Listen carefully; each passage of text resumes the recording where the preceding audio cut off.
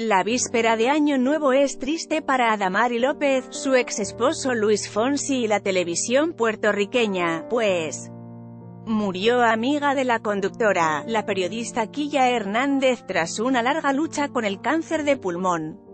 La conductora de Un Nuevo Día escribió en su cuenta de Instagram que le envía un abrazo hasta el cielo y fortaleza a toda su familia. Luis Fonsi se unió en el sentir y le escribió, descansa en paz Quilla Hernández.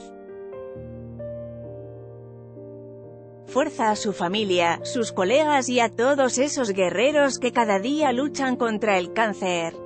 Luchó años contra el dolor. Quilla era conductora de Noticentro al amanecer y fue diagnosticada con cáncer en 2015. Es madre de dos hijos, los fans de Adamari y de Luis Fonsi escribieron cosas como, la verdad es que estamos sin creerlo.